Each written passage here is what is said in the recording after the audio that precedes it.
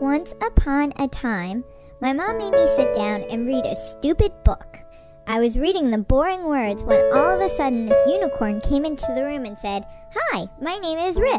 Do you want to go on an adventure?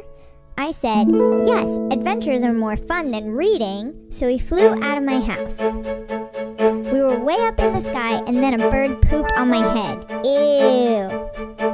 When we landed, we were wearing these funny hats, and there were some kids sitting on the ground playing with twigs. Why are these kids so sad? I asked Riff. Riff told me that some kids can't afford nice things like books, so they have to play with twigs.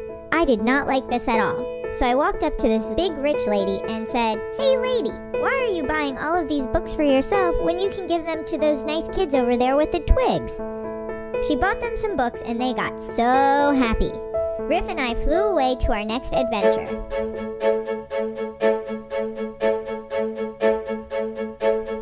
We got down to the ground again and we had these hairy feet. There were a bunch of people staring at this dragon and they all had weird eyes. What's wrong with these people?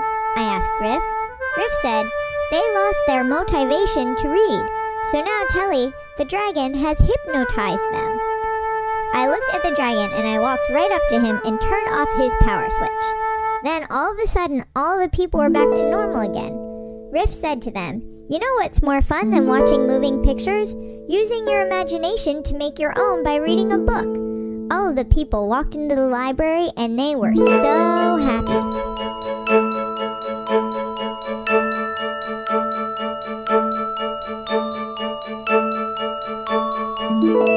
We flew into this shack, and when we got inside, there was this man with a long beard. It smelled really bad in there. We sat at his circle table, and he made us look at this ball. My girl, he said, I am a time traveling wizard and can see that your actions have done great things. Remember that lady who gave those kids the books?